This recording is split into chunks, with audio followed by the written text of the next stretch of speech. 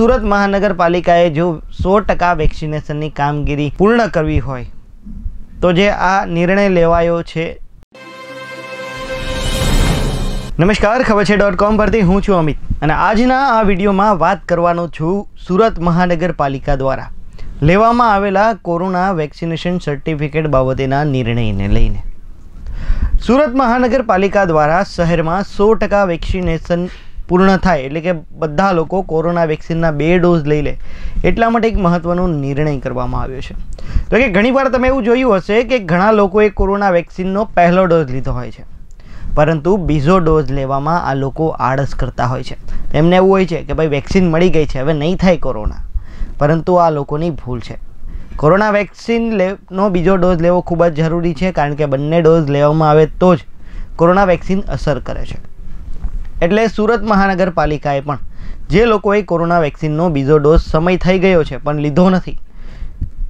અને એ લોકો વેક્સિનનો બીજો ડોઝ લે એટલા માટે એક નિર્ણય કર્યો છે. સુરતમાં સિટી બસ બીઆરટીએસ બસ, ફરવાલાયક સ્થળો, બાગ બગીચા સ્વિમિંગ સ્વિમિંગ પુલ અને મહાનગરપાલિકાની તમામ કચેરીઓ પર જે લોકો આવે છે, તેમનું વેક્સિનેશન સર્ટિફિકેટ તપાસીને એન્ટ્રી આપવામાં આવે છે. અને જો આ સર્ટિફિકેટમાં વ્યક્તિએ વેક્સિનનો બીજો ડોઝ નહીં લીધો હોય, એટલે કે સમય થઈ ગયો છે છતાં બીજો ડોઝ નથી લીધો, તેવા લોકોને એન્ટ્રી આપવામાં આવશે નહીં.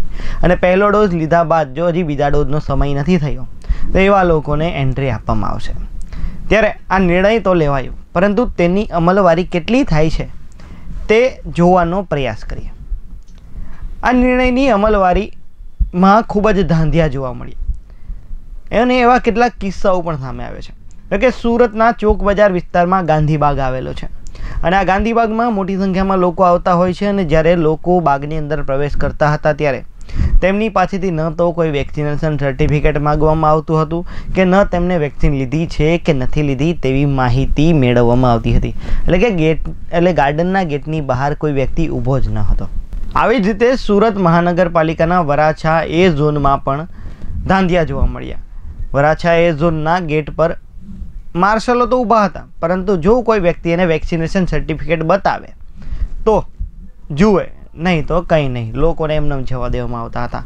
તો બીજી તરફ સુરતના ચોક બજાર વિસ્તારમાં એક સિટી બસના કંડક્ટર દ્વારા જે લોકો પાસે વેક્સિનેશન સર્ટિફિકેટ ન હતા, તેમને બસમાંથી નીચે ઉતારી દેવામાં આવ્યા હતા. પરંતુ પાછળ આવતી બસમાં આ લોકો બેસી ગયા હતા.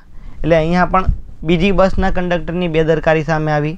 તો હજુ એક આવો કિસ્સો સામે આવ્યો કે દિલ્હી ગેટ પર જે બીઆરટીએસ સ્ટેશન આવેલું છે, ત્યાંથી જે લોકો બસમાં બેસવાના હોય છે, તેમની પાસેથી ટિકિટ લેતા સમયે પણ વેક્સિનેશન સર્ટિફિકેટની ચકાસણી કરવામાં આવી ન હતી.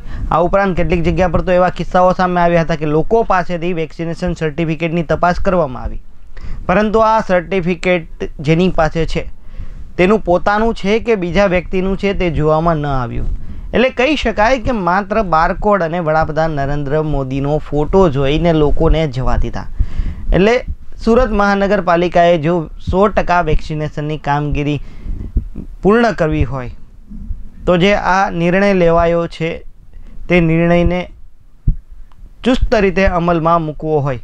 તો તેની કડક અમલવારી માટે અધિકારીઓને કડક સૂચના આપવી પડશે અને આ માટે કડક કામગીરી કરવી પડશે. આવી ઢીલી કામગીરીથી નહીં ચાલે. એટલે કહી શકાય કે સુરતમાં ઘણા લોકો બીજાનું વેક્સિનેશન સર્ટિફિકેટ બતાવીને બસમાં મુસાફરી કરી રહ્યા છે. તો કેટલાક લોકો ફરવાલાયક સ્થળો પર આનંદ માણી રહ્યા છે. ચાલો ત્યારે આવા જ વીડિયો સાથે ફરીથી મળીશું. રજા આપશો. નમસ્કાર.